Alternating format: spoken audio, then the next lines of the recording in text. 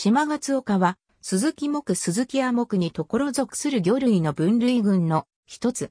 に赤七属からなり、島勝尾弁天王など外洋性の海水魚を中心におよそ22種が含まれる。島勝岡は太平洋、インド洋、大西洋など世界中の外洋に分布する。熱帯、亜熱帯域の表層から深海にかけて幅広い生息範囲を持つ。稚魚や若菜は表層で生活すると見られるが、制魚の生態はよくわかっていない種類が多く、完全に深海に移行するもの、島ガツオビージャポニカのように夜間は表層に浮上するものなどが含まれる。本家魚類は、マグロなど大型海遊魚にとっての重要な餌資源となっており、しばしば彼らのいない用物から見出されるほか、ハエ縄漁でも混獲される。前述の島ガツオをはじめとする資源量の多い一部の種類は漁獲対象となり、カス漬けなど食用として利用される。島ガツオ科の魚類は左右に平べったく、強く側平たした体型を持つ。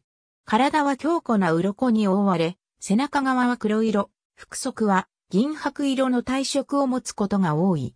体長は最大種で85センチメートルに達する。背びれは一つで前方のトゲ状は分子しない。島ガツオ赤では背びれ、尻びれの前方のヒレ状が長く突き出す一方、弁天魚赤の両ヒレは非常に大きく、体部全体の面積を超えて広がる種類もある。尻びれのトゲ状を書き、尾ひれは大きく、二股に分かれる。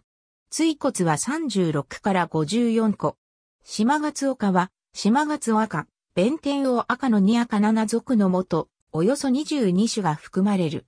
チカメエチオピア属は、本家の中で最も原始的なグループと考えられている。